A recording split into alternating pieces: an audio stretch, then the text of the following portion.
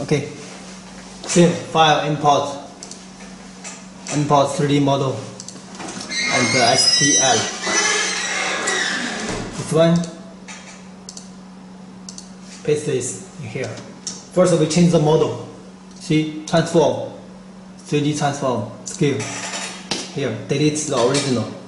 This is 28. YX 300. 28.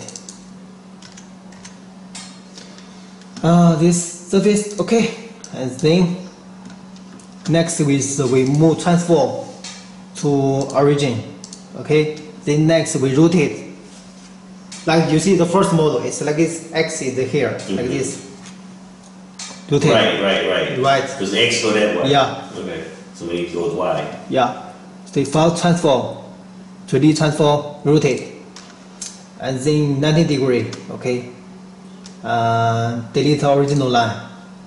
Okay you see this this is we need. Okay. then transform uh, origin. Okay we see this effect okay here. This is we need. So next transform.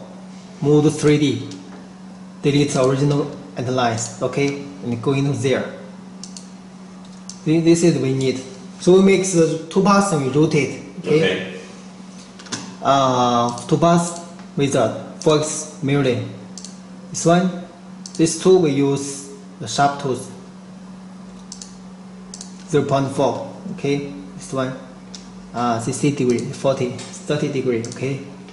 This one VX 10 okay? Then the next we use this two number we use one voice milling draw surface select finish. And the, the stepper we use uh, 0.2 okay this parallel. Like this. Also next. This one 4x surface uh, at center. Okay. Calculate